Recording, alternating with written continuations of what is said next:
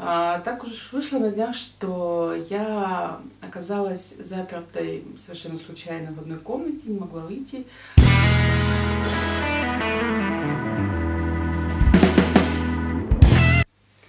Всем привет, Даша. И недавно был э, день рождения Пушкина, 6 июня.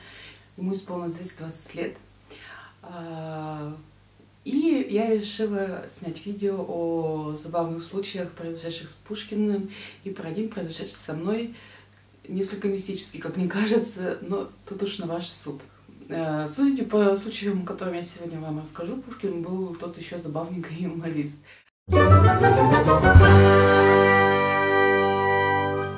Первую историю я помню еще со средних классов школы. Ее мне рассказала нам, всему классу, а, наша классная руководительница.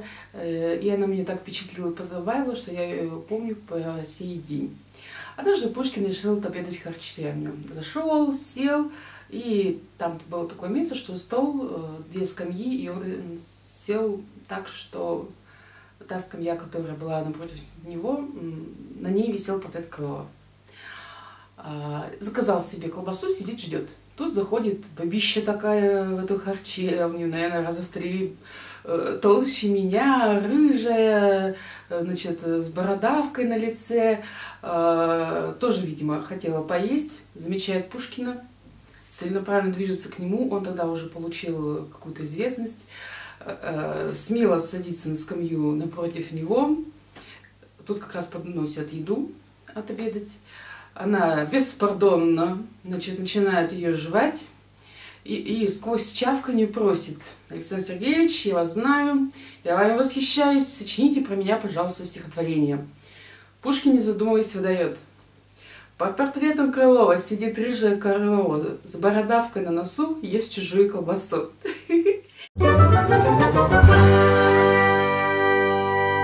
Другой случай произошел с Пушкиным, когда он еще учился в лицее. Захотелось ему поразвлечься вне, так сказать, учебного учреждения, и он отправился к своему гувернеру по фамилии Трико э, за разрешением. Тот сказал, нет, сиди, учись, и вообще буду за тобой следить, чтобы ты никуда не делся из лицея. Тот говорит, угу, ну ладно, типа, ты как бы тут властен, но вечно это находчивый.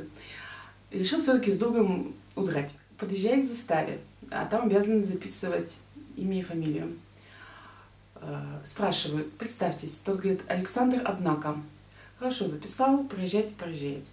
Э, следом э, подъезжает его друг. Тоже с ним была договоренность. Ответственно заставил, спрашивает имя, фамилия. Григорий Двака. Тот, М, хорошо, записал, проезжайте. Кувернер, который исполнил свою угрозу следить за Александром, а, как бы увидел, что они уехали и следом едет. А, ответственно его спрашивает, так, фамилия? Тот говорит, Трико. Врешь, кричит заставный, обманываешь, хулиганье развелось. Однако, двака, трика, будешь у меня сидеть на заставе. Бедный гувернер целые сутки просидел в караульной, пока Пушкин с другом развлекался.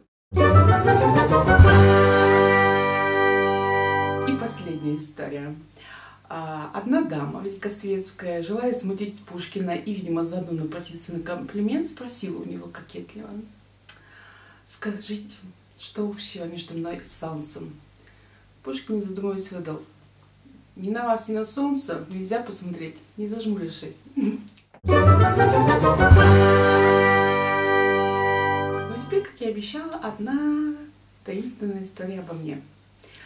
А, так уж вышло на днях, что я оказалась запертой совершенно случайно в одной комнате, не могла выйти какое-то время.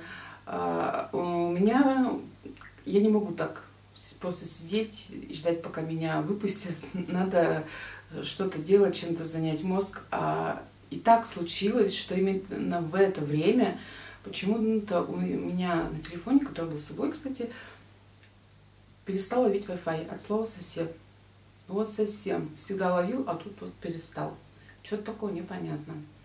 А, телефон пыталась перезагрузить, как-то его отладить. Безрезультатно. ну ладно, ну чем-то же надо заняться. И так уж вышло, что у меня в телефоне оказался, оказалась поэма Пушкина Евгения Онегин. А, долго рассказывать, что она мне там делает. А, в общем, об я начала ее читать. Вот так. Ну, в общем, скоро я оказалась выпущена на волю.